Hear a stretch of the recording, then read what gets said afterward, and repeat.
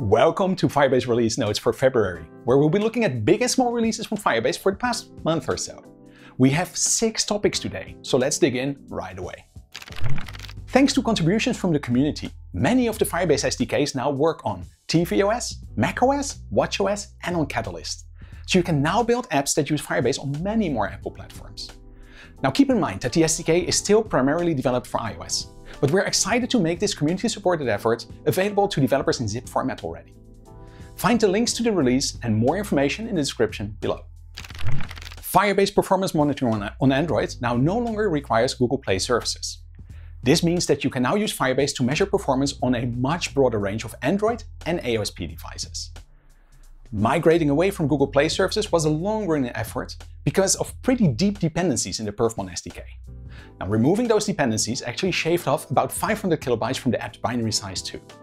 And finally, this release also reduces the time it takes for performance events to show up in the Firebase console, from 2 hours to 30 seconds. So there's really no good reason to wait with upgrading. If you have a lot of cloud functions in your projects, with the latest CLI, you will see much faster deploy times. This improvement is caused by a change in the way the backend build process cre creates a container for cloud functions. And this should also decrease the likelihood of seeing partial deploys, where some of your functions got updated and others didn't. So if you have a lot of cloud functions in your project and you've had to run multiple deployments to get them all updated, upgrading to the latest version of the CLI should give you a much smoother experience and it should be much faster. Find the links to the release in the description below. A few months ago, I told you about our documentation to help you prepare for Apple's App Store data disclosure requirements.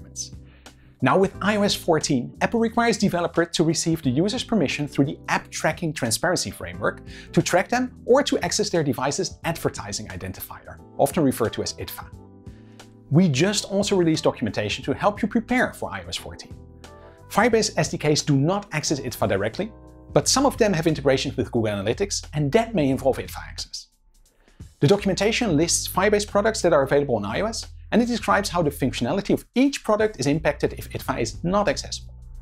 See the link to this new documentation in the description below. Cloud Firestore for Games is now publicly available in beta for C++ and Unity developers.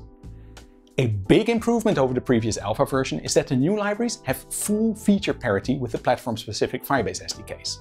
So every feature in the Firestore C++ SDK now works identically on iOS, Android, Windows, Mac, and on Linux.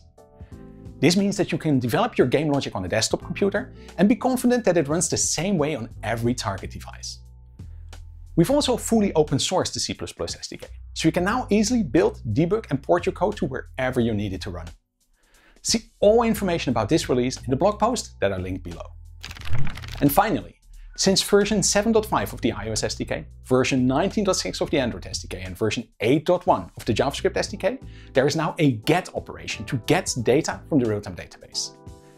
This new operation solves a long-standing race issue in our native mobile SDKs, where reading a value once could return stale data from the disk-based cache. We also use this opportunity to align with other APIs, so that GET on Android now returns a task object. The TLDR is simple. If you need a value from the database only once, use the new get method. Links to all these SDK releases are in the description below, and a blog post on this should be published shortly. That's all we have for today. My name is Frank Puff, and I'll see you on a future episode of Firebase Release Notes.